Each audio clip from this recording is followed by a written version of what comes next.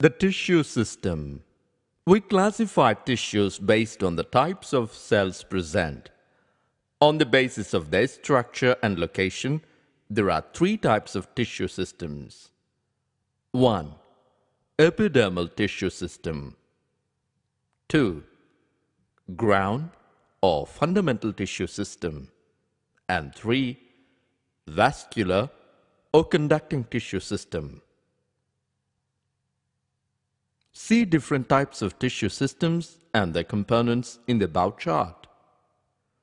1. Epidermal tissue system. It forms the outermost covering of the whole plant body and consists of epidermal cells and stomata and the epidermal appendages, the trichomes and hairs. Epidermis. It is the outermost layer of the primary plant body and made up of elongated, compactly arranged cells, which form a continuous layer. Epidermis is usually single-layered. Epidermal cells are parenchymatous, with a small amount of cytoplasm lining the cell wall and a large vacuole. The outside of the epidermis is often covered with a wax-thick layer called the cuticle, which prevents the loss of water. Cuticle is absent in roots. Stomata these are structures present in the epidermis of leaves. Stomata regulate the process of transpiration and gaseous exchange. Each stoma is composed of two bean-shaped cells, known as guard cells. In gases, the guard cells are dumbbell-shaped.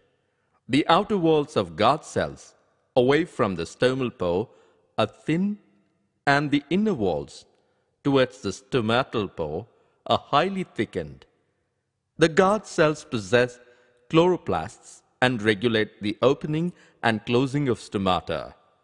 Sometimes, a few epidermal cells in the vicinity of the guard cells become specialized in their shape and size and are known as subsidiary cells.